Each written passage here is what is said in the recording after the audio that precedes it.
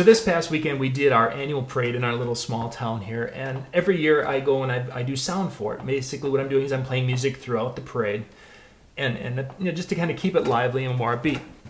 So this year, what I did is I wanted to you know update things. I, I wanted to step it up a little bit. So I the sound system I went from using some of my older sound systems or things that I've used in the past.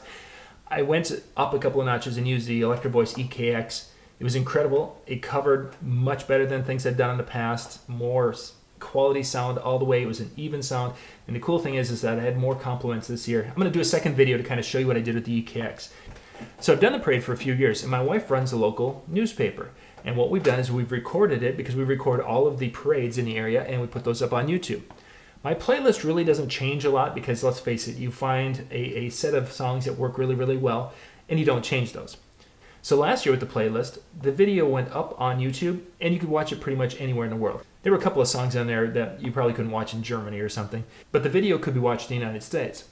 This year I added about five new songs to that whole playlist and it was flagged.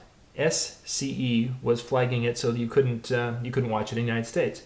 So I added about five songs. I added uh, Taylor Swift's Style, um, Uptown Funk, uh, Honey I'm Good, uh, Shut Up and Dance, and Riptide. Those were the five new songs that I added to the mix. One of those five kicked in YouTube, kicked in so that it won't be shown in the United States. My question to you, which one of those five do you think it was?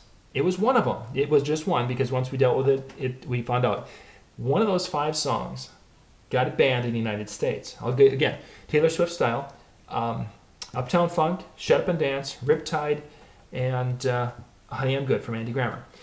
I want you to go and put your, your thoughts in the comments down below. Which of those five songs that flagged it for YouTube do not allow it to be seen in the United States?